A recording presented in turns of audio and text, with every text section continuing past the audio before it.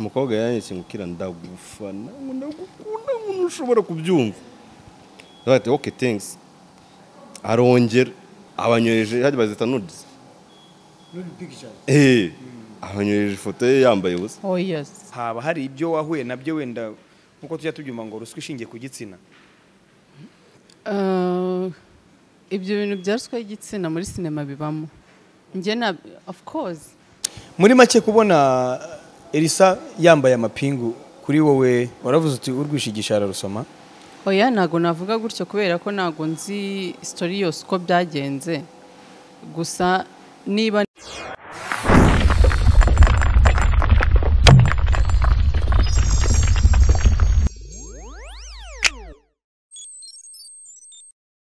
You already know my people out there. Your name come here, God bad boy shot, Akula believer, champion, monster, conqueror read. The teacher, the preacher, conductor, vibrator, Mr. Dreams, top baddest, top connector, the true monster, the true hustler, the humble man, the most unusual guy, the motivator, the extravaganza, the top baddest, number one truly rapid taste. Live the life I love and I love the life I live. The top shot number one, killer man, killer. shata number one shimama didi Shimama what? Mama. the top number one mabigi bigi mabere kandi ntabwo nagashiraho. The top shot number one. the top shot number one ni igitonore. The top shapa na ni shapa ni shata biranze the top shot number one um, ikibariko Uh, the top shot number one yago tv show. Biranze oya ingendo yindi iravuna yago sinkubeshye Ujye ujya ubikora se muri video. mba ndi gushaka umugati ku mugati hari umuntu aravuna rega ariko uzi ko n'umuntu yapfa hari Okay. Kila mani yazanye n'umukobwa mwiza cyane. Buriya akenshi iyo mpuye n'umukobwa mwiza nago nago njya nshaka ko muvuga. Mba numva yakwivuga kugira ngo ntaza gukotora nkavuga amazina ye nabi. Ibwira abanyarwanda badukurikiye kuri Yago TV show. ni nyambo jessica Nyambo, jessica mvuga ngo witwa Nyambo. nitwa nyambo Niyo mazina yawe ku ndangamuntu. yego Nyambo Jessica. Ukaba witwa nde muri filime? Um, umuturanyi n'undi nyina nitwa nyambo kwa kiramani se kiramani agira amazina ahita kwita umuswitano iki kintu nk'icyo kiri kuzana mwana kino kibebe kabiri zawuzanye kuri mike ya yago. Ata tubwire muri filime ya Kiramani witwa witwa Musita kandi Kiramani ibyo ntiyanabikwita rwose. Kiramani ntabwo ari seriye nta zina guha nta zina guha ariko usanga ku- kumva ngo nyumvira umuswitano wa line ngo renga ari kunzana ubwo nyine buri iryo zina umuswitano rikaba riragufasha ehehe mu cyane. make ubwo yitwa umuswitana umuswitani bisobanuye nta nubwo nzi n'ikintu bisobanuye. Ahubwo se bisobanuye iki? Eh. Ni ibintu bisaba kujya kwiga ibyo bintu. Muri make ni ni Kiramani n'umuswitani we. Eh umuswitana wanjye Oya. hano twazanye ndetse Nyambo. Karame. Iryo zina Nyambo wigize ubaza ubusobanuro bwaryo impamvu bakwise Nyambo? Yego. Baguye ko ari iyihe mpamvu? Nakundaga inka twagiraga mu rugo yitwa inyambo. Nyine yari ifite amahembe nk'i- y'inyambo yari inyambo nyine. So ikintu cyose urabazi nyine inka zikunda ibishishwa by'ibitoki ibiki narabirwaniraga kandi nta yindi nka ngiye kubihereza. Ari iyo ngiyo kuri nyine umwana muto bajyana na papa wiwe na se wabo birangira barinyise gutyo. Baraye bakwise Nyambo Nyambo Jessica. Umwana ko bamwita wa tu- eh, tujya kurya ubunyano. Ubwo we babikwize okay ba- mbere bakwitaga ngo iki before yuko bajya kugimba irindi. Nkayitaga Nyine ntari nyarwanda nagiraga. Iyo filime ndayizi irangira amagambo azamutse. Irangira amagambo azamutse iyo filime eh ngo bakwitaga Jessica izina rimwe. Bayitaga jessica ntari izina ry'inyarwanda Rudomoro nge nodomoro na bene wanyu. Bakwise Nyambo Jessica. Ukomoka he? Mu rugo ni hehe uvuka mu muryango w'abana bangahe? Uyu munsi wazanye na Kiramani. Unatubwira impamvu mwazanye mu kiganiro. Mu rugo ni kirehe.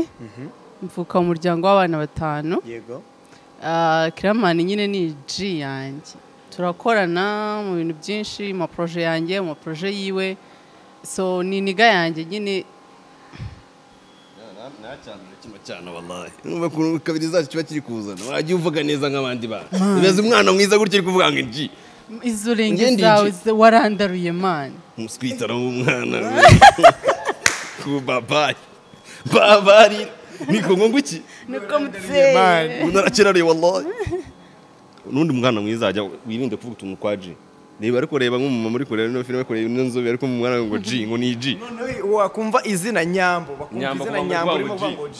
Eh, kirama yesi ashimwe ajya basubiza. Ah, ahimbazwe Eh, sikunde ibyo gutya. Ariko ko umuntu utamwikoza eh gute? Ku muntu ushaka kumwikoza kandi muri filime. Reka nkubwire buriya. Um, ah, mu cyongereza baravuga ngo dog shook died.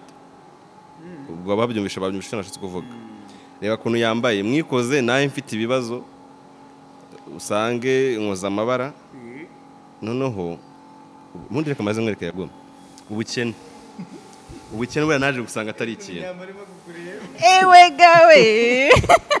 Petite ubukene naje gusanga atari ikintu. Naje impamvu abakene babyara? Ni ukubera ko birirwa mu rugo. Baba bafite umwanya uhagije. Njyewe ntigeze kwirirwa mu rugo nakubiswe. Urabona cya gihe nafaga hano haciye amezi make mpita nkubitwa. Njya muri ya crise ngira ngo na- na- nabikubwiye. Njya muri ya crise ya hatari hamwe. Wabonaga ndi wapostinze nk'akaboro kanjye buriya waramfashije bya hatari. Ajya wapostinga akaboro kanjye nakubiswe byasite nkabona comment n'abantu babyishimiye nkumva ndishimye. Nkumva kuri njye ndahaze nyine tu. Stress z'uko nta mafaranga mfite mu rugo n'iki zi- zi- zikagabanya buri munota najyaga kureba comment yagiyeho. Mwishima rero kwa wa mwanya nirirwaga mu rugo nyine n'iki? N'ubukene. Reka sharaceho. Ite mureba. Eh kumbi sheri ushaleta matai eh ananiambia eh mume wangu aone nishaleta matai nikamwambia sasa mshambuli ushatandika akasema nishatandika sasa twende nione sasa nichurange gitari. Ile gitari nimechuranga wallahi. Piti yuko hapa nafika hapa. Kwezi gutanda byara ubukene sio kitu. Nese gitari nizavamo umwana gitari nacuranze Eh. ah rero nahangamba ndi uravuze ngo iriya gitari wayicuranze kubera ubukene wari urimo Eh, ariko byo ibintu kiramana avuze abantu abantu badafite akazi badafite n'icyo gukora bambabarire ntabwo turimo kubavuga nabi. Ariko nibo barya cyane urumva? Nibo bakora dega nk'izo ngizo nyinshi nibo babyara cyane. Ni ukuvuga ngo nte- ntekereza ko umumaro w'akazi wa mbere ntabwo ari amafaranga umuntu abona. Eh. ahubwo umumaro w'akazi wa mbere ni ibyo uwo ako kazi kakurinda. Eh, maze umwamvu mukira byara akana kamwe wa yirirwa mu kazi nta mwanya afite wo kujya kubona ko sheri ikibuno cya- cyaje. Ikibuno cyaje. Ariko mu rugo yicaye uri kunywa ku gakoma ubu n'umugabo igihe yicara mu rugo akanywa igikoma. No ku bintu byakomeye go akanywa igikoma sheri yacaho ati kumbusha leta matayi. Kuyapa ni kucurangie gitari. Ile gitari sasa. Viti na leta mungu wako. Tujya kuronshinga rubumu kandi udafite n'amafaranga yo gukodesha iyo sare yaho ngaho. Reka reka nkomeze ribarize nyambo. Nyambo kwinjira muri filime rero. Winjiyemo ryari kuki wumvise ko ushobora gukina filime ninjiyemo bibiri na makumyabiri. Muri ko- covid iriya lockdown ya mbere isa naho irangira.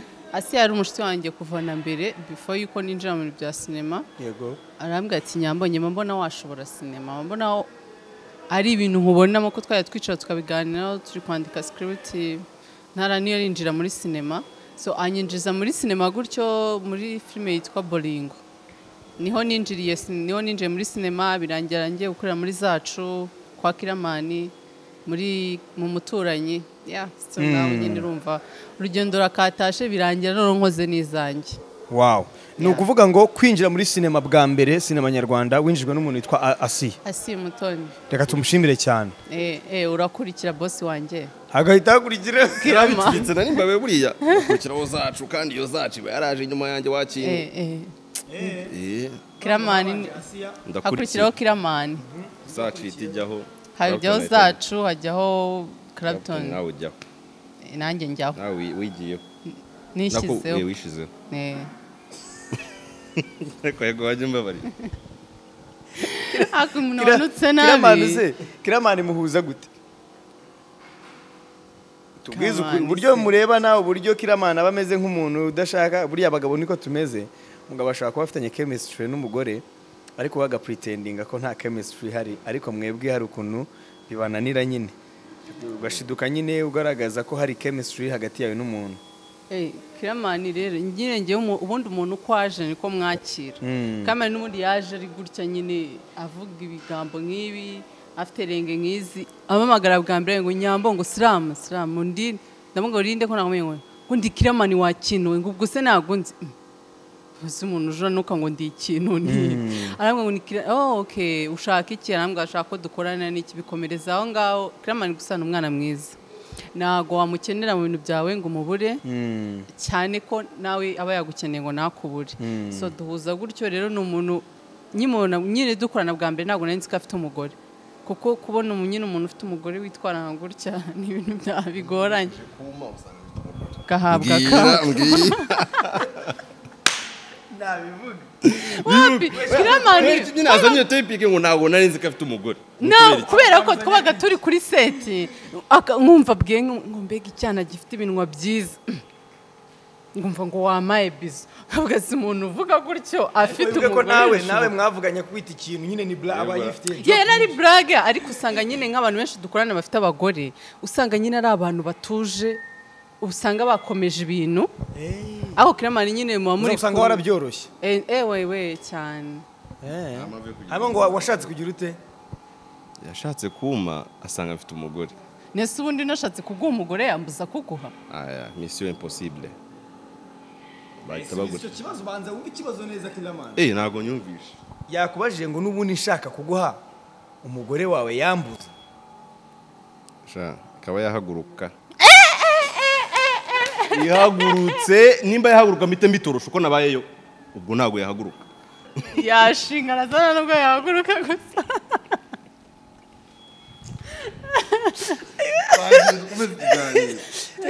Nyambo ndagira ngo tubwire kwinjira muri muri sinema winjijwe na asiya ariko hari sakamustensizi hari ibibazo wagiye uhura na byo bimwe na bimwe. Uyu munsi aho ugeze harashimisha ugeneje n'aho watangiriye. Umwana w'umukobwa. Wifuza nko kwinjira muri sinema uyu munsi. Ni ibiki agomba kwitegura kuzahura na byo. Ese wowe haba hari ibyo wahuye na byo wenda nk'uko tujya tubyuma ngo ruswa ishingiye ku gitsina? Uh, ibyo bintu bya ruswa y'igitsina muri sinema bibamo. Njye na of course. Wowe ko nta wagusaba uri guhakana ushingiye ku sawa ki? sawa sawa sawa we hari umukobwa wari wagusaba? Namuvunira umuhita nabyibeshye Ese rero abakobwa barasabwa? Reka twiyumvire. Eh, nabikora niyo mpamvu numva nyine bitaba ibyo bintu. Bya dasoba ibintu nguye nyine. Komeza ugora abajinga babikora kuba bibamo ho bibamo. Njyewe wenda ntabwo nawe na byo kubera ko natangiriye ahantu heza siya ntabwo ari kunsaba ruswa y'igitsina. Kiramani nawe yamamagaye kubera ko yabonye ko nshoboye. Ariko hari hari nk'abantu bo muri sinema njye njya mpura n'abakobwa bakambwira ngo ngumva ngo ngo ngo ko nashatse ngo kwinjira muri sinema ngo runaka ngo akambwira ngo kugira ngo nzi ngo azanyinjize muri sinema ngo nzamusange iwe ngo tuganire. Ngo nawe niko byagenze. Ndamubwira se sine- sinema iganirwa no mu rugo irwa- iganirwa mu rugo. Ndamubwira arakubeshya uzabigenze gutya na gutya. Ariko kuba bibaho bibaho. Ahubwo njye nibaza uwo muntu aba aguhamagaye muri sinema koko yabonye ko ushoboye cyangwa hari uko ababona nyine byagenda ukundi kuntu wa wenda se mwaryamana akabona yaryoherwa n'ibiki ariko ntabwo ari byiza. Kubera ko njye ntekereza ko iyo umuzanye course aba yamaze kuguha byanarangiye. Ariko iyo umugejeje muri sinema bakabona adashoboye bahita bamukuramo. Bivuze ngo n'ubundi kuguha kwiwe biba byapfuye ubusa. Afazari wenda ajya amusaba yamugejejemo. Abona ko azanakomeza. Ariko ntabwo ari byiza ariko kubamo bibamo. Njya benshi bajya bamamagara ko ngo nyambongo wazatubona ukadushyira muri ya filime yawe nyabitare cya the message. Ngo ntwese wigeze ubigeragezaho? Ngo ngo ni ibintu nkunda ngako nigeze gusaba ngo runaka akanshyiramo ngo arambwira ngo nzamusure mu rugo ngo tubiganireho. So urumva nise umuntu yavuga ngo uzamusure mu rugo ubiganireho. Hari n'uwambwiye ngo naramubwiye ngo nzajyane n'umushuti wanjye ngo oya ngo uzaze wenyine. So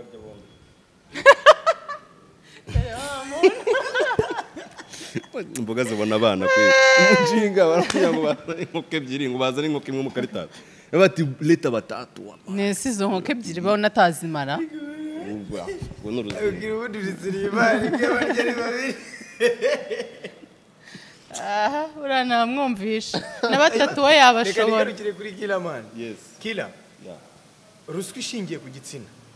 Kuri wowe ni ruswa utekereza gute cyangwa uyifata gute? Ese ubona ishobora kuba ibaho? Kuko ntabwo ari muri sinema gusa ntituvuge sinema gusa. Reka turebe muri rusange. Muri rusange. Muri rusange ibaho. Ibaho kandi si nziza. Kamere ku bayitanga. Ku bayitanga ngira ngo twanabikinnyeho muri the message kuri channel ya nyambo. Aho umukobwa aza gusaba akazi noneho uwa manager wanjye aka- akamubwira ko ngugira abanza amuha akazi kuko na na impapuro zimwemerera kubona ako kazi nyine yari afite zihagije. Ariko ngugira akabona ariko ari ibyo ari butange akakabona noneho arabimuha kujya kugaruka ku munsi wa interview asanga ni njye noneho uhari. Nsanga rero ntago abyujuje. Sinamuha akazi ko namukoresheje ara- arayitsindwa. So rero we nahise musobanurira ati watsinzwe. Ubwo atekereza ukuntu yatanze cyagiye bya bintu byiwe bakabivutura umuheto uri kubyumva? Akaba ararangiye. So rero ku bantu bayitanga ujya umenya ngo ugiye kuyiha njye ushobora no kuyi sinzi nari mpamvu yo kuyitanga kwanza. Yiha umuntu kuko wenda wamwishimiye. Ariko uyimuha kuko nyine ngo washatse ko nyine kugira ubone icyo kintu. N'agaciro kawe nta gaciro waba ufite. Nimba uzi ko ako kazi ufite ari uko wakabonye kugira ngo ubone ibyo ngibyo ni ahazaza nta nubwo ubundi njye nkunda kwiyumva buriya. Mba numva ikintu nakoze cyakunzwe kubera ko nyine ari cyiza ntabwo cyakunzwe ko nafurushije. Numva ako kazi ufite ugafite kubera ko hari ibyo watanze. Ntabwo ugafite kuko ari, ubushobozi ufite. Ese i- ubushobozi bwawe buri hehe nyine? Ku- kuba urenze muri wowe biri kuba urenze muri wowe nuko nyine wagiye gukora interview bakaguhereza akazi cyangwa nuko wandikiye umuntu ufite ubushobozi bwo gukina filime akagira akaguha akazi. Kubera ko abonye ko ushoboye. Wowe wahawe akazi kuko watanze ibyo bintu byawe nta mumaro. Hanyuma na wa wundi nawe uyaka ngira ngo aho ngaho twanabigaragajemo. Hari igihe iyo situwasiyo itiba ugasanga wa none wabyatse wa mukobwa wacanye ku maso. W'inshinzi karashika agahita kuvunira umuheto. Ribu ya ha- hafi aho ngaho hari n'ubu usanga wiririye akantu k'agapa- k'agapanshi kakituriza cyangwa se umuntu ngo abantu bisengera cyane bati imana izamuhana. Imana izamuhana. Rero ugasanga umutipe akunda kwirira abantu b'imana izamuhana ariko mu minsi ni mirongo ine. Hari igihe uza rero kuba abandi bagenda bakubwira ngo imana izaguha no kuva ko nyine kwirirwa abana b'abandi ntacyo bitwaye isaha rero yigeze. Cyane. handi usanga wariye karashi kare gatubwira ati niye kunikula turu yangu wallahi. Utayitapika ukahita uyiruka. Hamwe noneho wajya ujya gusabira ukabona ntihaguruka. Kubera iki? Ntubuzi ibyo wakoze ari uwakugiriye cyane. Noneho ikintu kibabaje usanga n'abantu bayaka. Ntabwo ari ba nyiri filime. Ni abantu baba bakasitinzwe nk'uko natwe tuba baba bakoze kasiti ni umuntu uri aho nk'ukuntu kiramana ashobora gukora kasiti tuvuge n'urugero nka navi burawuni cyangwa se undi muntu ukira muri muvi yiwe nk'umwana aramubonye akabona nyine akina mu muvi akamubwira sha navi wazambabariye uka- ukanshyira muri filime akagira ngo niyo cyangwa se wazambwira kiramana akanshyira muri filime akamubwira ngo ushaka ngo nta kibazo ngo kiramana ngo ni umuji wanjye ngo kandi buriya ngo tunafite ngo nanjye mfitemo sheya ngo buriya ngo ngo turafatanyije cano ngo nanjye nagushyiramo nemerewe gukasitinga ngo uzaze mu rugo tubivugane. Urumva rero kiramani we niyo yamushyiramo kubera ko wenda na viyaje akamubwira ati umwana ni mushiki wanjye ni umushuti wanjye mbamushyire muri filime kiramani namushyiramo akabona adashoboye azahita amukuramo. Wa mwana rero waraye ijoro ryose ugasanga nyine Harahiye. nababaje kubera ko uh, uh, abana kan- kandi ndamuvuge ko nshobora kubikora nanjye sibyo turabafatirana.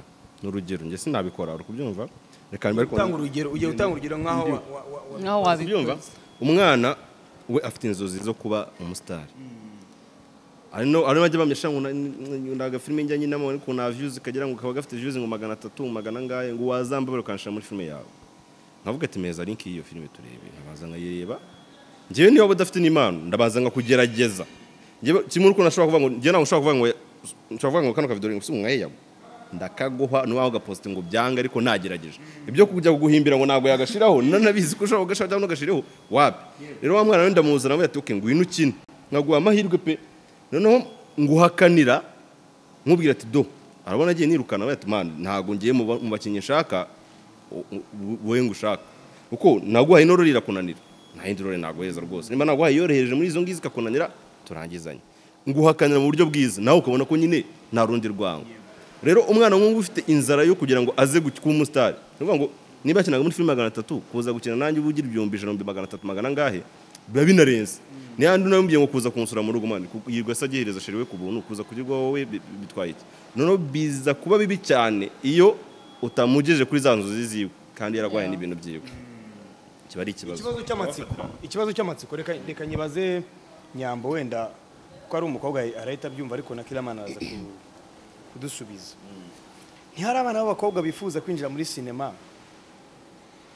Ariko nabo bafite iyo tageti bafite iyo tageti yo kuryamana n'abantu bo muri sinema. Noneho wowe ugasanga worosoye wabyukaga. Ariko nyuma kubera ko nta mpano afite kikaba cyaba nk'ikirego nyuma kubera ko avuga ati ngewe nari mfite tageti n'ubundi wo kwinjira muri sinema ariko uriya muntu tukabanza tukanaryamana. Kuko akenshi tureba ku bagabo ntabwo tujya dutekereza ko n'abakobwa bashobora kwinjira muri sinema ariko bafite n'iyo tageti ibyo byo ntibyabaho nyambo? Hari ni urugero wowe ukaba wasaba kiramani kugushyira muri filime ye. Ariko unavuga uti uvuga "Cya Kiramani ni kira igifata." cyane Eh. Eh? Eh, nyuma yamara gushyira muri filime bikaba byanaba ariko cyangwa se bikanaba mbere. Ariko nyuma akabona nta mpano ufite pe. Bikarangira byanze.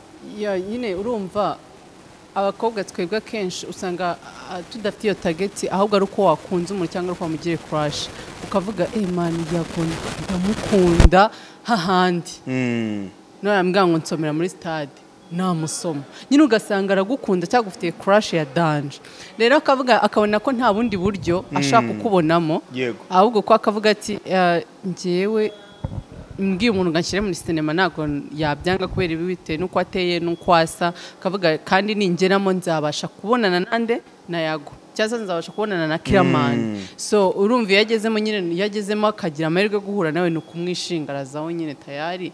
Yagira impano ubwo ni ukugira impano kuko ni ibintu nyine ahora yifuza kuba yahura na kiramani kuba bagirana in touch.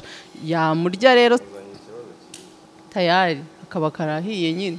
Ahubwo n'ubundi kiramani niba nta talent ufite ntabwo azareba iyo sura yawe cyangwa uko uteye ko ntabwo bizamwinjiriza udafite tare. Azagukuramo ariko finali n'ubundi muba mwamaze kujyana utashi n'iyo yagukuramo irakomeza. Uvuze njyewe n'ubu ngubu nabi- nabikumvisha muri telefone yanjye niko nayicaginze umukobwa yanyikiye ngo kira ndagufana ngo ndagukunda ngo ntushobora kubyumva. Ndavuga ati okay thanks. Arongera. Mwana ngo ndagukunda ngo ngiye no kugufana ngo byararenze bisiga numva ngukunze abanyoheje hajya bazita nudes eh abanyoheje ifoto ye yambaye ubusa. Oh yes. Mwana ngo sinzi ngo umugore wari bubone nabi ngo gusa ngo ngiye ngo nifuje kukakohereza Eh. ubwo amahirwe ahita yongera arayisiba. Iyo nza kuba ndi ikigoryi rero ngewe ndi babahungu nyine b'iki gihe baranse vuga ati eh kumbe kuya ni kuvunire muheto. Uri kubyumva? Nkahita muzana akumva niba wari kuba yanshotoye hari n'abahungu rero nabo bagwa muri icyo kigare ntabwo usanga wowe ari ruswa uwo muhungu we ujya gushyira muri filime abanza kukwisabira. Ariko ari n'umukobwa uza we n'ubundi asanzwe agukunda. Ku buryo anabonye n'amahirwe yo kugira ngo umuntu aryamane yahita abikora. Icyo kintu rero kubyumva? gitindeho kuko hari abantu ba- batakizi. Tugaha umwanya munini kumva ko hari ruswa ishingiye ku gitsina yasabwe abakobwa. Kandi n'abakobwa bashobora kubigiramo kugira ngo bashotore babaga kugira ngo baryamane ni ukuri hari n'abadushotora. Njyewe ni na kenshi. None kamwereke n'urugero. Hari igihe n'umukobwa we urabona mu mafilime twe dukora hari aba- hari ababa barenze abandi. Ni urugero aba ari kuri top kurusha abandi. Hari n'undi uba ushaka kugira ngo mushyire ku mwanya mwiza. Uri kubyumva? Agashaka kujya kwiyandikishwa cyane cyangwa se kumva ko na- naramuka agize umubano runaka uri close cyane hagati yawe nawe ari ubwo uzajya ubasha kumushyira muri za role nawe zitwika. Ugasanga atangiye kujya kwishinja kwandikira wariye waryamye n'iki se nzagusure ryari? Njye nagize amahirwe ndashaka. Nawe utekereza ko bagutinya kuba ko washatse wait. Oya Nyambo. none se oya yago kama- kamaze ng'urugero eh. Ukuntu nzi. Eh. Umukobwa wapfa kumenyera ajya kumubwira ibyo bintu dushi- duhere kuri uwo mukobwa wa- watinyutse kukoherereza ifoto. wait. Oya, yago Yago, reka tubireke. uwo nguwo wabitinyutse ntabwo anzi kuri seti uzibika ukuntu kuri seti mba ndi umunyamahanga sibyo? Ubwo umu- man jewe ndi wa muntu ntabwo njya ni- nyine umu- ntabwo niba uri umukinnyi wanjye uri umukinnyi wanjye. Uri kubyumva duhuzwe n'akazi ni muri groupe ari n'umwe ushaka kunyandikira inbox? Man na nta groupe ubamo. Nyibamo. Ntuzuye kunyandikira aha ngaha rero. Uri umukinnyi. yago nabikwereka. Tujye duhurizwa no muri groupe uri umukinnyi wanjye nta kintu man njyewe nimba ndi n'abahungu hano ngo bose ngo ejo nzazana iyi myenda mwana jya kwandikira jya kubereza muri groupe. Hano wimenyera. Amafaranga yanjye aba yara- yarambuye mbabarira wowe ufite amaze gushutinga kugira ngo bamenye ko iriya uwo ari we. Ibihumbi n'ibihumbi uzi imvune naciyemo. Rero wiza kumenyera ushaka kugira ngo nyine guma muri level uriho. Iyo nagezemo ubwo gendana nabo tugeranye muri iyo level si ukwiyemera kandi. Kuko aba byandi usanga ari nk'umugabo uswata akajya kurya umukozi we mu rugo. Kutamenya level ariho nyine. Kubyumva Man, kabone nubwo umukozi yaba ari mwiza kurusha umugore wawe. Banza wiha agaciro umenye na level uriho level uriho man, ntabwo ari level yo kujya kurya nyine abantu batari mu cyiciro cyawe. Ni na yo mpamvu leta yashyizeho icyiciro cy'ubudehe. Sibyo? Hari ahantu mu kirage nimwihorere banza ubyumva ahubwo umenye message ndi gushaka gutanga eh. Kubyumva bivuga ngo mwihorere bivuga ngo ndi kuvuga gutya gusa. Ni na yo njyewe oya yego ikiba gihari cyo njyewe n'ubundi- wenda uzabaza abantu tu- tubona- kuri seti nibo bakubwira ukuntu njye ameze mba ndi makali oya n'ubundi kuri seti ho uba ugomba ku eh mimi mubaya sana wa eh grand frère mie oya kuri seti ho n'ubundi uba ugomba gukariha kugira ngo akazi kagende neza Yego. of course niba uzi ngo washoye amafaranga ugomba gucyura episode zingana gutya uzanyemo ibintu by'imikino ntabwo wazicyura. mwiza. Ni kangahe wabonye ibyo bize nkwandikira inbox? Badi muri inbox zanjye nawe barebe message ziri muri ziba ariko tumaranye umwaka kuzi urenga ko nyine n'ubundi nta cyavamo. Burya niyo cyaba kiri buvemo. Niyo cyaba kiri buvemo. Reka mubwize ukuri. Yego nyine reka njyewe si ikintu nirinda. Nirinda nyine akamenyero. Ninda no guseba. Hari igihe ushobora kuba wivugisha ngo uri kiramani cyangwa se uri runaka urarenze uyu mwana rikamucokoza wenda ukabona umwana ahise akumenyera. Kubera iki akumenyera uko wari- ni wowe wamwiteje. Kandi iyo utaza kuzana ibyo kuza kujya kumutereta nta no kubyara ugasanga no kuba wankatiye wa mubano wanjye nawe utangiye kugira iki? Kera nari mfite akabesto uri kubyumva? Kera naranashaka noneho mu besto yarazaga akabansumye ku itama bisa nyine blague ziri aho ngaho nkamuheka nkamuterura akakwica akaza akanyicaraho noneho bakajya banshuka bajya mu bagenzi banjye karakana karagukunda uri ikigoryi wazariye umwana. Cyangwa mwana inshuti yanjye nta bintu biba birenze. Umwana aragukunda ariko nasa akakwicara muri twese akwitwaraho kuriya mba ndashokewe mba ngiye kumutereta mwana mubwira ukuntu umukunda bya bya bintu iminsi amaze igihe iki ibyaje kuvamo kumukunda ikintu cyaje kuba nyuma yaho na n'ubu ntabwo turongera kuvuga. Nashize imyaka cumi n'itanu. Eh, abakobwa niko duteye? Na n'ubu ntabwo ndongera kuvugana nawe. Nyine ubu yahise abona ko kwa kuntu nyitwaragaho njye mbi- nabifata nk'ibisanzwe biri kunjyana ahandi hantu. Yasabye ntabwo byashoboka njye nagufataga nk'umuvandimwe ngufata nka besto wanjye. Iyo level uri kubijyanaho rero njye ntabwo byashoboka. Bwa bucuti bwanjye ndabura kandi ajyaga anyira n'uduceri uri kubyumva? Yaba yakuye nk'ikigabo akaba yamuhereje cyangwa ikigabo cyashaka kuza kumureba kikancaho ngahita ngica amafaranga kugira muzane papa we kugira ngo muri rubanza nkubite nkanga ayo yose ndayabura kubera abavuna mu igare mani nyine re- reka yago reka nkubwire. Twebwe abakobwa. Igakwira n'ubuceri yavuye gukura. Akanyera ubuceri ibiginga biba biranshutse shango njye gutereta. Twebwe abakobwa tuba dukeneye ababesto abantu nyine babandi uzabwira amafuti uzisanzuraho uzagira ute bya bindi byose nyine udashaka ibintu by'imiteretano handi ushobora no kumubwira ngo ushakire we ngumva ngo mvuye kubonana na sharimani ngumva ngo yandakaje nyine ukamubwira ibintu byose n'ibyo mwakoze byose ukabimubwira ni byo ubushaka eh byose ukamubwira nuko yakuriye byose ukabivuga nyine byose akabikubwira noneho ugasanga nyine we atangiye kubifata mu rundi rwego akumva ko umukunda akumva ko wa- wa- wamupfiriye wasaze icyo gihe rero bwaba besi turabubura n'urukundo ukabubura kubera ko twebwe tuba dushaka abantu nyine batuba hafi twisanzuraho tuba openi kuri bo. Kandi ikindi akenshi tubagira abahungu kubera ko umukobwa uramubwira ikintu ukagisanga ahandi ukagisanga ahandi ukagisanga ahandi. Uri umutipi ngo wamuryaga wamutega agatangira kuvuga amakuru yawe. Agatangira kubivuga. Ariko umuhungu ntabwo kiramani yagenda ngo abwire umuhungu mva gushaka. Gusa ko nyambo ngo yavuye ngo kureba wa mujama ngo gutya na gutya Ah, twebwe dukeneye ababesto b'abahungu. Kubera ko nta mazimwe bagira nta nubwo bajya kuvuga ibyacu. Ariko ikibazo ugasanga bo babivunjemo iki? Urukundo. Kandi twe ntabwo tuba dushaka gukundana nabo. ikindi kandi nk'ubu tuvuge kiramani nk'ukuntu dukorana wenda ni umushuti wanjye. Iyo tujyanye mu bantu tu- tu- mu bandi bantu gukorana nuko ntabwo nzi uko bateye ntabwo nzi uko bameze ntabwo mbisanzuraho. Ahubwo usanga ndi kwisanzura kuri kiramani dufatana dukubitana tugira tugasanga baravuga ngo eh cya kiramani kirya nyambo. Kurabona uburyo bigiranaho kubera ko ndakwisanzura se ndakuzi. Ugasaba bifashe mu rundi rwego. Uba utekereza ko uburyo wisanzura kuri kiramani eh, nk'umugore we yabifata gute? Aramutse amu- abonye nk'ikiganiro mwisanzuye mugize gute? Wumva yabifata gute? Uyereka nyamba reka maze ngisubize nyine mbanze ntange urugero. Kuvuga ngo yago uburyo wiyereka umu- umuryango wawe cyangwa wiyereka inshuti zawe niko zigufata? U- u- bajya bavuga ngo nyereka inshuti zawe nkubwi- nkubwire icyo uri cyo. Sibyo ni ukuvuga ngo umugore wanjye nimba naramuhaye ya- mahirwe yo kubanza kunyeka ko ndi igihehezi. Niyo handi uzasanga ashobora no kumfata ku rutugu agahita aberamo ikindi kintu. Kuko azi anyizera azi ko n'ibyo bintu ashobora kubitinyuka. Kabone n'ubwo yaza akansoma ku itama ubona ko ari ibyo bintu biri aho ngaho. Biri bunarangire n'aho ngaho.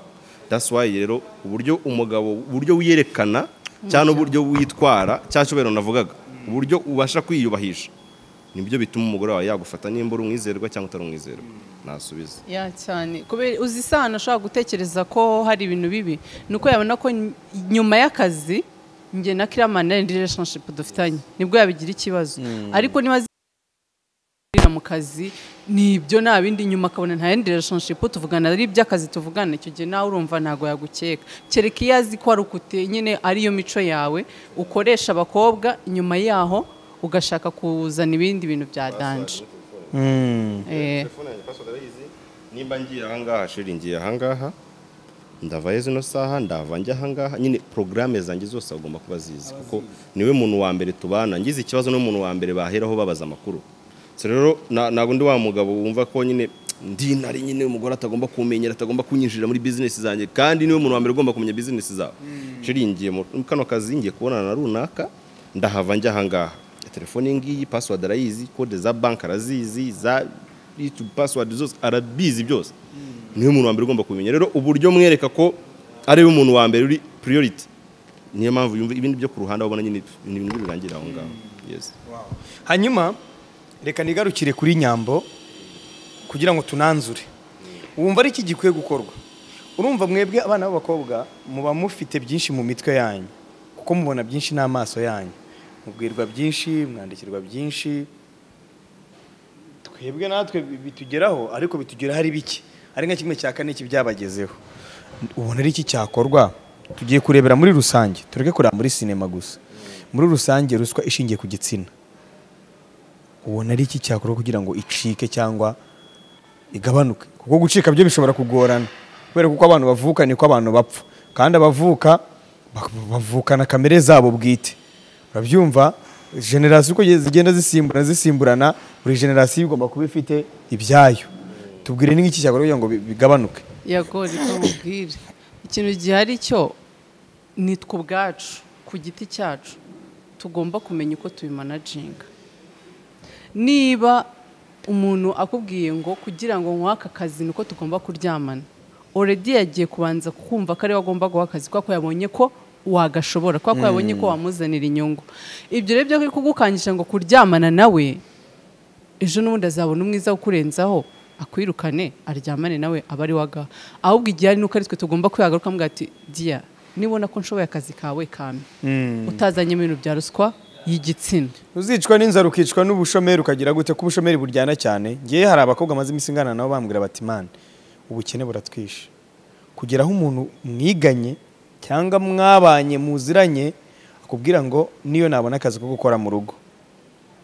Niyo nabona akazi ko gufurira abantu niyo nabona akazi ko kuza nkajya nkutekera cyangwa nkatekera abantu runaka. Ari umukobwa uzi cyangwa ari umujamuzi warangije ufite lisansi. Icyo gihe uribwira ko umukobwa umwana wo muri kigali usa nkawe azemera kuburara rimwe cyangwa azabura urukweto nk'urwo waje wambaye cyangwa akaza akabura iyo myenda waje wambaye kandi abona ko kuri cano byanze no muri filime byanze aho ntibizoroha ko ashukwa byoroshye. Akeneye akeneye urukweto rwiza akeneye umwenda mwiza akeneye umusatsi nk'uwo wawe. Sinekereza ko bihendutse ibyo bintu ufite ku mutwe. Yego uzi ikintu se uzi ikintu kibi? Abakobwa dukenera ibintu bidahura n'ubushobozi bwacu. Ukareba nyambo niba asutse ibintu by'ibihumbi mirongo ine ukumva ko nawe ugomba kubisuka. Kandi nyambo yarakoze yarinjije arabisuka. Kubera ko abifitiye ubwo bushobozi. Dukenera ibintu biri ku rwego rwacu. Kandi ikindi ntabwo abakobwa twese dutunzwe n'abagabo. Hari n'ibintu byinshi umuntu akora atari ukuvuga ngo ni uko yatanze ruswa y'igitsina. Ubu se gufungura yutubi ubuntu? Bivuze ngo iyo ntagira ubwenge bwo gukora ibintu n'ubu nawe mba mvuga ngo ndabahute. Ndisiga iki? Ndarya ute? Ndambara iki? Ntabwo ari ubuntu. Ariko nyine ibintu byose bi- bisaba gutera intambwe ya mbere. Iyo wateye intambwe ya mbere ibintu byose bigenda biza. Nese ubu wowe unca amafaranga ko uza ugakina muri muvi zanjye? Ndakwishyura ngiye kwishyura nabona yo nkwishyura nsubiza bivuze ngo ikintu cyose bisaba gutera intambwe no kwihagararaho no kwiha agaciro.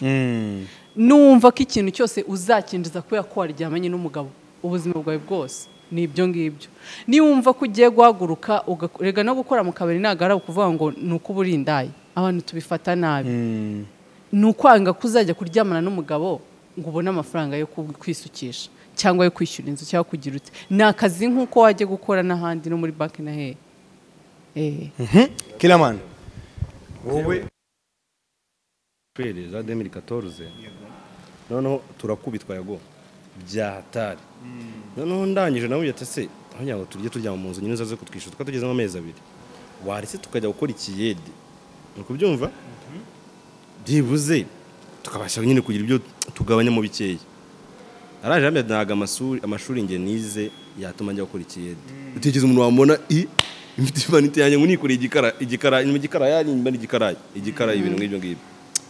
Ndaje namubwiye ati rero uzi n'ikindi.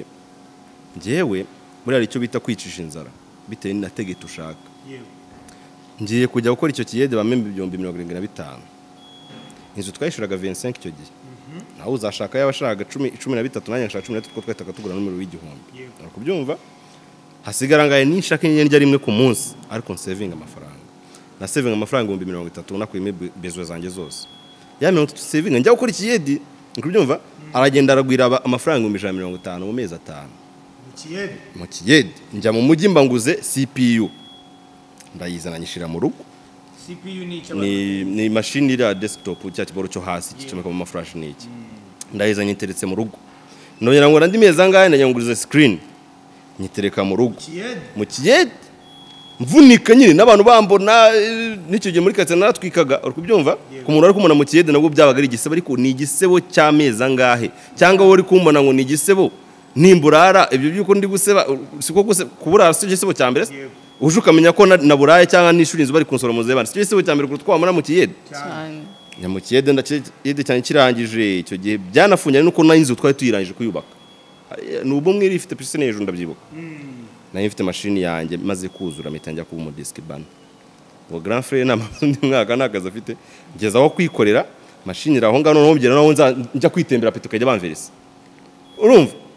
Nkajya njya kwitemberera niba nshaka kujya kuryoshya nkajya kuryoshya nkaza bakangura ibihumbi bitatu byanjye bya verisoma sigaye mverisi ibihumbi mirongo icyenda. Ya mashini natangiye nkora mirongo irindwi na bitanu ya mashini igiza izanye ibihumbi mirongo icyenda ku kwezi nagiye no kuzerera n'utundi turaka ku ruhande ko ku ruhande nakoze ngira ngo ngira mbona n'akandi kazi k'ikiyede sinatinye kujya kugakora kuko nzi ko kameje akazi kabi kagurisha keza iki kintu ushaka kuvuga rero we mukobwa uzi ko utaba- umwungu uvuga ngo nabasha no kujya gufura yes jya gufura ariko umenye ngo ari ibyo ukeneye kwiyima ushobora kwiyima kujya gusuka zino nywere ariko uvuga ati ntacyo uno mwaka sinzi isutse ariko umwaka utaha bitewe nuko ndi gusevinga n'ibindi nshaka kugeraho nzasuka ibyikubye kurushaho uribuka igihe wambwira ngo ninywere cano yanjye.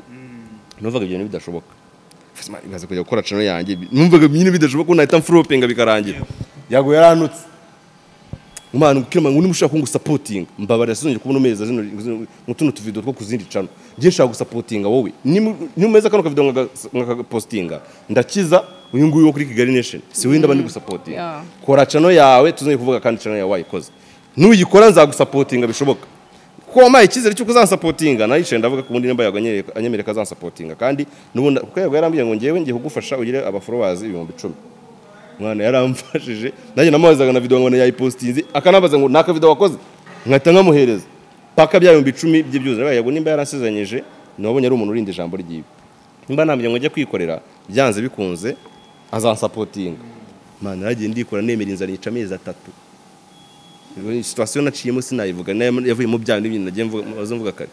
Ndihanganiza iranyica abantu ukajya ndi gutwika ariko mu rugo ndi kurya rimwe ku munsi. Ariko uko nshaka kugira ejo nakoresheje dashboard yanjye ahantu igeze. Amezi yago cyagiye byatangiye n'amezi atatu nta kintu ndi kurya ngo dashboard yangize muri miliyoni na uri kubyumva? Icyo gihe nabimweje ibihumbi magana atanu ariko bimaze kugera muri miliyoni na Usi iyo nyicara mvuge ati ngiye kwemera inzara inyice mba ngeze aho ngaho yago. Ariko ngubu ngeze ahantu n'abakinnyi banjye nabo ubwabo ngira umukinisha umwishyura nabo bari gukora channel zabo. Rero nawe umukobwa uzi ko ni akazi ufite emero nimba ari ufata inyanya ushobora gusanga nawe yarize. Curiza izo nyanya bakize bacuruje amakarito. Iki kiganiro gifitemo amasomo. Tugomba kuza kwigiramo. Iyo ubonye umukobwa mugenzi wawe hari amabanga muba muzanyeho nk'abakobwa. Hari imibereho yanyu itandukanye n'iy'abagabo cyangwa abasore. Nk'iyo ubonye nk'umukobwa yambaye amapingu aregwa ibyaha runaka iyo imaje ukayibona wowe utekereza iki? Ubibona gute? Uh, ikintu gihari course ntabwo ari byiza ntabwo ari ibintu bi- ntabwo ari inkuru ibishimishije ariko nanone biterwa n'itangiriro ry'ibyo bintu. Usanga sometimes usanga ari wabigizemo uruhare kugira ngo hari ikintu dukora mu butoya bwacu cyangwa se hari ikintu dukora mbere tukirengagiza ko hazaza bishobora kuvamo ingaruka. Ikintu gihari ni ukuba ni uku mbere y'ikintu ikintu cyose umuntu agiye gukora akabanza akacyitondera kuvuga si iki kintu nta ngaruka cyane kano kanya cyangwa se ahazaza. Kuko hari igihe urwanira byinshi by'ako kanya ugasanga wishe ibindi byinshi cyane byari kuzaza ahazaza. Urwaniye byinshi ako kanya cyangwa se urwaniye dukeya turi aho ubuze byinshi by'umumaro byari kuzakugira umumaro n'abana bawe n'umuryango wawe. Guhubuka. Nyine ikintu cyose no kuba muri iki gihe noneho uru rwanda noneho hmm, ikintu cyose no gushyiramo ubushishozi ubwitonzi n'ubwenge bwinshi cyane. Muri make kubona elisa yambaye amapingu kuri wowe waravuze uti urwishigisha ararusoma. Oya ntabwo navuga gutyo kubera ko ntabwo nzi sitori yose uko byagenze. Gusa niba niba abizi ko nawe abifitemo uruhare. Azahugure n'abandi bakobwa. Tumenye uko twitwara tumenye ibyo gukora muri iki gihe kuko urumva niba yarabaye iminsi bibiri na cumi na kangahe ingaruka zikaba zije bibiri na makumyabiri na kangahe. Kandi icyo kintu wenda yari akicaranye abizi ko ari ikosa urumva sometimes usanga ibintu tugira twe twabigizemo uruhare. Ariko nanone niba azi ko nta ruhare abigizemo abe open avugisha ukuri. Yeah. reka nigaruke kuri kiramani impamvu nzanye ako gatopiki niko turi busorezeho kira kubera iki? Hari abantu bishyizemo ko amapingu agomba kwambikwa abagabo cyangwa agomba kwambarwa n'abagabo. Kubona umugore cyangwa umukobwa wambaye ipingu kikaba ari nk'igisebo kidasanzwe nyine nk'ikintu ki- he? Abantu twese turi abantu kandi abantu turakosa. Gusa ni uko intagondwa si uko babyita? Intagondwa za mbere ni abagabo buriya ni abagabo. Eee ubyumva n'ubugira ngo uzabone nyine. Okay, nta nubwo nta nubwo eh, umukobwa kwambara kuko ugiye ugiye nk'igikondo cyangwa ukajya usanga hari abayambara. Ariko gusanga umukobwa nk'uriya mwiza nk'uriya ufite ubwenge yambaye amapingu ni cyo gisebo. Ahubwo umenya yambaye amapingu kubera iki? Igitumye yambara amapingu ni cyo gisebo kuruta kuba yayambaye. Niko nabibona. Abantu bashobora kuvuga ngo ni igisebo kubona umukobwa nk'uriya yambaye amapingu bitewe n'ibyo yakoze. Ariko muri kano kanya eh, aba- abantu twese buriya hari ibyo ukora tutazi hari ibyo nkora batazi si uko ndi umwere. Ni- abagabo benshi ni abakobwa benshi bafite amakosa ariko kuko ataramenyekana buriya umujura n'uwafashwe umujura n'uwafashwe na Elisa reka maze nkweza urugero. Elisa muri kano kanya wenda turi kumuvira tuvuga ko ni ikigoryi ni igicucu na, na nyine yarahubutse nta bwenge. Buriya iyo aza kuba yarabikoze nafatwe muri famiye yawe yari kuba ari kwitwa iki? Si intwari. Imbere ya sheri we yari kuba ari kwitwa iki? Si intwari se yakuba arokoye sheri wiwe? Rero twimuveba kuko ngo wenda ngo yabikoze agafatwa. Ahubwo tumusabire. Sibyo? Natwe hari ibyo tuzakora tugafatwa. Iminsi yacu hmm, Imana. Siko iba yicecekeye iri kukureba. Piti fanya vyote uko unafanya pala lakini ningufata munsi nagufasha kazakubaho. Rero ngiye icyo nabivugaho kuba Elisa yambaye amapingu cyangwa se kuba umukobwa yakwambara amapingu nta bintu birenze kuko nawe ni umuntu yakosa. Ko umugabo ashobora kugukubita urushyi ugahita uswata ugafata ikintu kubera ko urakaye ukamukubita nk'ikintu nawe. Wenda paragisida uzi ko ugiye kwa muganga umuntu yaboraga isaha imwe ngafe cyangwa umunota wamukubita agashyi gutya agahita apfa babara ko ari wo mwishyi ugasanga paragisida wa muntu ahise apfa. Nasa ntabwo uri bwambara amapingu umuntu ukuri umukobwa. Rero ubwo ngewe iki- ikibazo ni wambaye amapingu kubera iki? Ariko nanone mbere yuko ujya kujaginga umuntu ubanza umenye ngo wowe yiza kuba muri iyo situwasiyo nk'iyo yari arimo. Tunabyemere ko wenda wowe utari kubikora. Buri wese afite uko ateye. Wenda imana ifite ko yakuremye cyangwa bitewe n'ibyo waciye muri umuntu aba umusirimu bitewe n'aho yagiye anyura. Ntabwo kuba uri, umunyabwenge kano kanya ngo ni uko wagize amahirwe iwanyu bakakwishyurira iryo shuri cyangwa se ukagira abandi banakwishyurira iryo shuri ukarigeramo. Hari undi uhari utaragize ayo mahirwe yo kugera muri iryo shuri wari kuba ari umunyabwenge nawe nk'uko uri umunyabwenge. So rero kuba abantu tutarakara kimara wahita avuga ati ngo njye ntabwo nabikora. Yes niko imana yakuremye. Wenda nawe ufite uko yamuremye wimurenganyiza rero ko yamuremye. Umuntu wa mbere wo kujajinga umuntu ni imana. Kuko izi mu mutima we ibyo yatekerezaga wenda byaramunaniye kubyihanganira twimurenganyiriza rero. Ahubwo tumusabire imana imufashe imube hafi. Yeah. ni ukuvuga ngo icyaha ni gatozi buri muntu wese ntabwo kigomba kumuhusha mu gihe cyamufasha ahubwo kiramana yavuze ati tureke kujajinga ahubwo abo bantu bari mu bibazo bimeze gutyo tujye tubasabira. Icyongeyeho ntabwo amapingu yagenewe abantu runaka. Mu gihe wagaragaye mu- ikosa nyambo we yavuze ati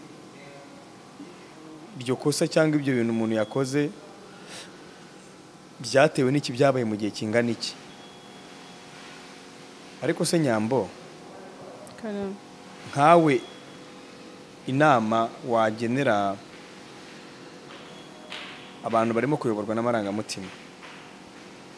Bakavuga ko elisa atari akwiye kwambikwa amapingu cyangwa atari akwiye gufungwa. Wababwira iki? Ese abo bantu bazi icyaha elisa ari gushinjwa? Niba ari ukuri cyangwa niba atari ukuri? Erega ikintu twebwe ba- nyirizina bambika amapingu umuntu. Bambika umuntu amapingu bitewe n'icyaha yakoze.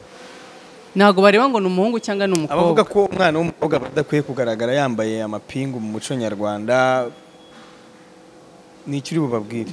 Ariko se kubera iki se umuhungu we eh, ntabwo uwo muco nyarwanda umureba? Kubera iki wa wambara? Niba umuhungu yakose akambara amapingu bivuze ngo n'umukobwa cyangwa undi muntu yakosheje nawe agomba kuyambara. Ahubwo igihari ni ukuca urubanza rutabera bakavuga ngo runaka yakosheje? Tumuhane niba tuyamukureho. Nawe kuvuga ngo ntabwo runaka akwiriye kwambara amapingu. Na mama warayambara umureba gutya. N'undi wese wayayambara. Apfa kuba afite icyaha. Abantu bararakaye nimba nimba ba- abantu bavuga ngo umwe ntabwo umwana w'umukobwa akwiye kwambara amapingu nimba nawe koko yumva adakwiye kuyambara nirinde nyine gukora ikintu cyatuma yambara. Yes nakigendere kure ntazayambare nta wundi kuyambara ahubwo twayakwambika da. Nta nawe ahubwo urebye nawe uzi ko na padiri ari padiri cyangwa shehe ni wa muntu nyine mwafata nk'icyitegererezo azanye ikiburi. Ubyuka mu gitondo twayamwambitse abaturage nyine. Yes, afande. yes, afande. ariko mana yanjye. Ngo nta mwana w'umukobwa ngo ukwiye kwambara amapingu. Yago arayambara pe. Urayambara. Ahubwo wenda impamvu babivuga ni amarangamutima y'uko mukunda uwo muntu. Uri kubyumva? Ni amarangamutima y'uko uh, mu mufana cyangwa se mu bwa bwiza bwe cyokora byo n'igisebo kubona umubebe nk'uriya mwiza ari mu mapingu si byiza pe? Nanjye simbyifuje. Uri kubyumva Yego, ibiseka ibintu birababaje. This- this thing ibabaza kibabaza sana. Oya nyine oya njyewe nyine ntabwo nigaruye. Birababaje pe? Ariko amarangamutima aside. Sibyo ntanjye nyine tu ntabwo mbona nyine ishusho nyine atari nziza. Iyo shusho ndi kubibonamo kubona umwana mwiza nk'uriya misi w'u rwanda noneho yambaye amapingu. Ushobora no gusaba ukundi kuntu twanabikora wenda pembeni tumuteza itangazamakuru cyangwa iki kuko wenda ni misi w'u rwanda. Afite ishusho nyine runaka ariko nanone kuri leta ntabwo iyo mikino ikora. Cyane. Nyine ntimukumve ko ngo umukobwa cyangwa umudamu ari umuntu wo kugirirwa impuhwe cyane. Rega nta cyaha umuhungu yakora umukobwa atakora. Ni na yo mpamvu. yavuye. Eh, ni na yo mpamvu usanga abakobwa wallahi umuntu at- nako nako ntabwo ndi kuvuga kuri Elisa sibyo? Umukobwa akoze amakosa ntiyambara amapingu. Ubwo ingingo nimba iri no mu gitabo cy'amategeko ya gender balance towa gute se kandi gender balance ihari. Ibi bintu ni byo. Ntekereza ko ibi bintu mugabo, ko bajya mu- jeannette kagame ashaka kuvuga ngo abakobwa bahabwa uburenganzira nk'ubw'abandi bantu. Numvaga ari nkacyo kintu aca nyine abakobwa nyine umukobwa agira ikintu cyo kumva ko ar- ari umuntu ugomba kugirirwa impuhwe ari umuntu usaba kugomba guhabwa niba runaka yakora ikintu niba yago ashobora gukora itangazamakuru nawe warishobora. Ukumva ko ari iby'abahungu gusa wumve ko umurimo ni hahandi usanga nyine wumva ko ngo umukobwa ngo ngomba ngo kugenda ngo nkaryamana n'umuntu ngo akama amafaranga. Wahagurutse ugakora. Ukumva ngo ngo ubuse ngo ninatera inzara ngo nkasa neza ngibaze ngo umuntu ambonye ndi gukora muri resitora. Wowe uri igiki utakoramo. Nyine twumve ko natwe turi abantu bagomba gukora bagomba guhaguruka tugakora tugashakisha. okay reka reka. Ubwiza burashira agaciza ugasanga umu- reka- nongere mbe umunange kuba umuniga. Reka nongere mbe umukiramani usanzwe. Reka mbe umubyeyi. Ugasanga umuntu arifashe ngo ni ukuri mwiza ngo ubwo bwiza bwawe ni bwo buzagutunga. Ntabwo ubwiza bugutunga hano. Cyane. None ahantu uzabimenyera ahantu uzabimenyera yago. Uzabimenya hahandi usanze umu- umugabo bari kumuhamba bari kumushyingura ugasanga n'umukobwa mwiza bari kumushyingura. Mwese mumva ni bwo uzamenya ko ibintu byose uri mwiza ariko nta kibuno ufite. Uri kubyumva abagabo ukuntu duteye uno munsi nagukundiye agasura ejo haracaho umwana ufite gwede imite ngushira pembeni. Maze ngukira amabuno. Ya mabuno naye mbone nta kigenda ahise haduka akamaneke. Urabizi ko muri kano kanya hagezweho wenda zino bino boro bya simirikwire umwaka utazaza amatiyayi ejo haze ngo ishati za obama. Nyine buri gihe y'igihe cyacyo rero numva ko ubwiza bwawe ari bumva uzagutunga igihe cyose. Uzasanga tutagikunda abakobwa beza tusigaye dukunda abakobwa bafite hano. Usanga tutagikunda abakobwa bafite hano tusigaye dukunda abakobwa bafite imbaraga ko bitewe n'igihe na situwasiyo tugezemo. Tugeze muri situwasiyo wenda yo kurwana. Muri icyo gihe nta mugabo uri bushake umukobwa udafite imbaraga ngo amufashe kurwana ku rugamba cyangwa se kurya ari ukunyaga. Ni situwasiyo tugezemo. Uri kubyumva rero wikwitwaza ko uri mwiza ngo uzatungwa n'igitsina cyawe kizaguhombera wowe. Cyane. Turasoje hanyuma buri muntu ntekereza ko yakuyemo ibye abari muri gereza abarimo kuregwa ibyaha bitandukanye reka tubasabire ku mana iborohereze kandi mukomeze kwihangana ndetse kandi ariko dukomeze no kurushaho kwirinda ibyaha. No kwirinda icyatuma tujya mu, bibazo bishobora kudukururira ibyaha mu mategeko. Hanyuma nyambo ndagushimiye cyane kandi nkubwire ngo kuraje. Hanyuma kiramani wowe urabizi eh, nawe ewana kuraje kabisa. Ukomeza usitara amano ndetse n'abandi bifu eh, gusitara amano mu kinyarwanda bavuze ngo gusitara amano baba bavuze ngo ubujya imbere ubujya imbere. Mvemo inzara ni byo nyifurije. Mvemo inzara. Bajya babona mfite amano ameze gutya none nkubwiye ngo ngo ngo mwifurije gusitara ku bitsinsino eh eh eh eh, mba mwishe. Ushaka kuzamura usubira inyuma rwanda ye komplike ushaka kuzamura bifu se ubundi zavuyemo ni we wazikuyemo? Njyewe se mfite inzara zavuyemo. Bataye reka mvuge akantu ka nyuma. Akantu ka nyuma. Kari gakenewe. Ni wapi akantu nubatsemo uriya pembeni ndaza kumurya mpfunyira pembeni. Hari ukuntu ngewe umukobwa nk'aba ngaba abakinnyi banjye yazanye ikintu cy'ikibazo mpita narika script akubitwa insi mani mfite mashyundu kiramani yaneye kubyumva. Kwishyura. akantu nanjye nzandika sikiributi ibyo nashaka kuvuga. Yago mesage njye nshaka gutanga. Eh, ina- inagendera kuri Miss Elisa n'abandi bose njye nizera ko buriya situation yose wacamo imana ibiyeza hari impamvu yago njye nkunda kubivuga. Hari impamvu muri kano kanya uciye aha ngaha ukanyerera ni uko waciye ahantu hanyerera. Hari impamvu imana yashatse ko Elisa aba ari muri gereza. Ubwo ni urugero nshaka gutanga. Wabona Elisa?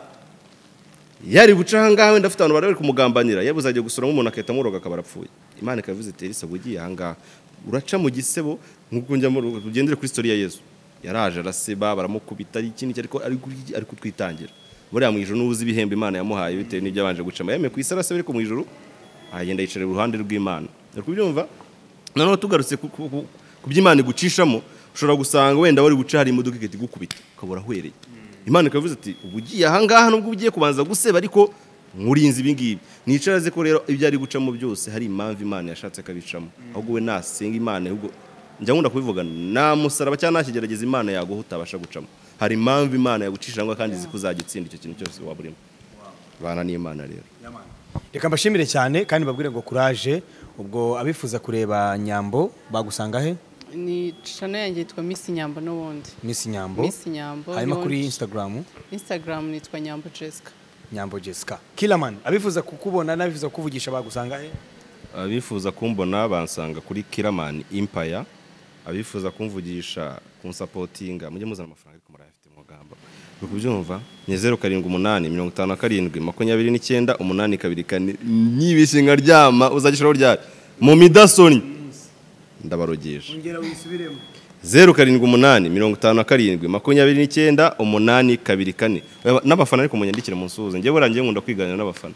Hari ukuntu Baduha irungu bitangaje amafaranga n'abafana. amafaranga bayagumana ariko banganiriza n'amafaranga. Ba- bayaguha. ni iminani ibiri gatandatu. ingona mu mifuka yabo Ako- mugumana yanyu. Wahise yavuga nimero ko ushaka kuyarya wenyine. Yashaka amafaranga. Ndayashaka nyeso nayangwa nabi ni iminani ibiri gatandatu tanu karindwi magana atatu n'umunani. Iminani ibiri gatandatu tanu karindwi magana atatu n'umunani. Mu yikoreye. Se burya tuba dutanze nimero umwana ahita aguhamagara yewe ni kiramani tuvugana yego. Ndagufana none se ko mfite impano? Nka nimero nk'icumi zose zagomba zikubwira ko zifite impano. Ntabwo zagomba kugira iki? Jya n'umamagara buriya gutaka nimero ni ibintu byiza. Njye mpamvu mba nyitanze nanayivuga impamvu nyitanze. iyo nyitangiye amaf- nshaka amafaranga. Niba yaguha.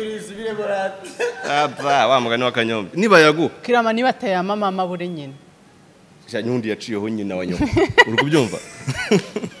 Amafaranga barahiye ngo mama bure nyina. Yaciyeho n'ubundi kera yarabunaze. Yago njye mpamvu ratanye manyitanze sibyo? Nabo banazi nimero yanjye. Njye nkunda. Nyine nkunda just kuganira n'abantu nyine tu no kubona stati yanjye iri kurebwa n'abantu benshi. Kubyumva bikanyorohereza ku buryo ndibasha gusharinga ikintu cyanjye. Njye nkunda kubivuga. Nimba unyandikiye yes. Ukinyandikira njye naranavugana nawe okay witwa nde? Ubu ngize amahirwe yabyanditse kuri about. Nkahita nsevinga nka posting ikintu link yangu ukabona byoroshye. Niyo mpamvu nyitazi ntabwo ari amafaranga njyewe utagira ngo ni amafaranga. Wowe ngo batakupatiye amafaranga ukizipata petite wallahi mitembifi ko nabayeyo.